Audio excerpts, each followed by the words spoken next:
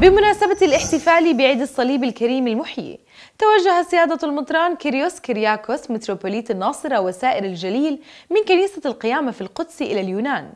برفقة خشبة الصليب المقدس بعد نيل بركة صاحب الغبطة كيريوس كيريوس ثيوفيلوس الثالث بطريرك المدينة المقدسة وفلسطين وسائر الأردن.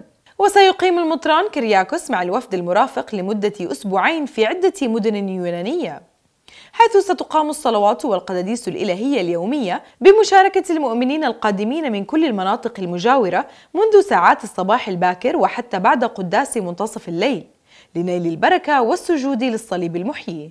وبمناسبة الزيارة المباركة أقيم في كنيسة القديسين قسطنطين وهيلانة في مدينة تريكالا قداس منتصف الليل برئاسة سيادة المطران كرياكوس وبحضور جمع كبير من المؤمنين القادمين من عدة مناطق للاحتفال بهذا الحدث المقدس.